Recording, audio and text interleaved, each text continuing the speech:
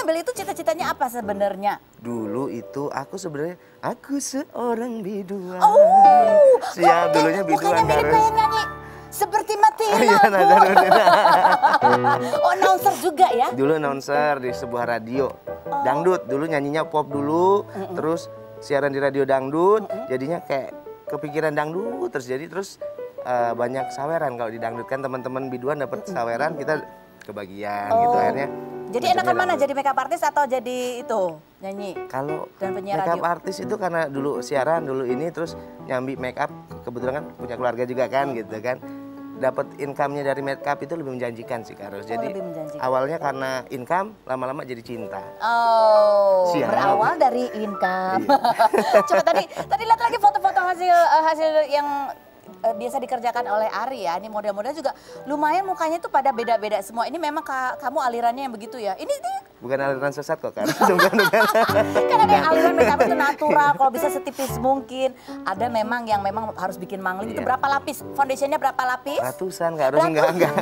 Biasanya sih kalau untuk layering kita nggak pakai, udah jarang pakai layering, cuman pakai teknik mixing. Jadi kan Oh, efeknya dicampur diaduk gitu? Betul, supaya untuk karena kita tinggal di daerah, gimana caranya make up itu biar awet seharian ya kan. Ganti baju 5 6 kali, 7 kali gitu kan. Gimana caranya biar nggak perlu retouch banyak-banyak lagi make upnya gitu loh kan. Gitu ya. Jadi eh, kamu foundation habis dalam berapa lama?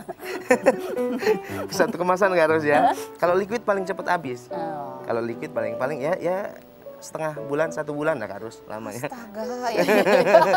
Oke, sekarang kita akan challenge like lihat secara langsung. Kalau eh, kemarin kan banyak yang ah bener orangnya sama atau enggak nih sebelah kanan saya sudah ada seorang model. Hai.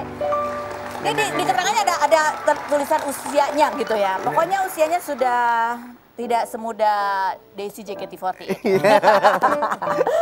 Tapi kita lihat dulu foto sebelumnya. Di foto ini udah, udah setengah jalan ya. Coba, coba kita lihat eh, Viti model sebelum dipakein make up seperti apa wajahnya.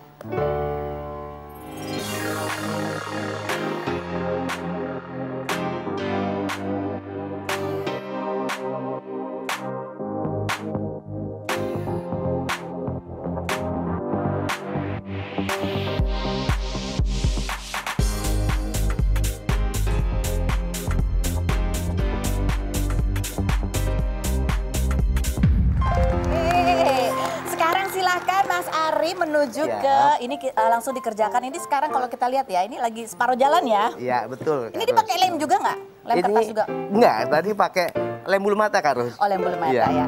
Alisnya sudah dikasih pinggiran, tinggal diisi dalamnya. Tinggal isi ya kan? dalamnya. Gimana perasaannya? Ada rasa deg-degan, was-was? Banget Eh, kulitnya ya. terasa nggak atau ada ter- udah mulai terasa tebas, tebel tebel. Tapi tapi nggak bisa nggak pecah-pecah ya? Insya Allah nggak percaya. Insya Allah. Oke, baiklah. Nah, sambil menunggu Ari mengerjakan, kita lihat nanti hasilnya. Kita ngerumpi sama yang ini banyak di request juga oleh netizen luar sana. Kita lihat profil Rara Lida. Tiara Ramadhani atau Rara, pedangdut berusia 18 tahun ini menjadi juara dua dalam ajang pencarian bakat dangdut tahun 2018. Perempuan yang tomboy sejak kecil ini pernah dituding merebut rezeki sahabatnya Jirayut yang harus pulang ke negara asalnya Thailand.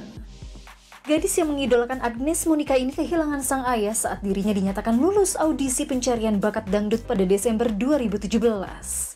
Karakter suara rock yang menjadi ciri khasnya ditampilkan dalam single pertamanya yang berjudul Ditikam Asmara yang dirilis pada Oktober 2019. Apa saja hasil kesuksesan yang sudah diraih Rara sampai saat ini? Dan benarkah kekasih Rara adalah seorang polisi? Saksikan kisah selengkapnya hanya di Rumpi No Secret.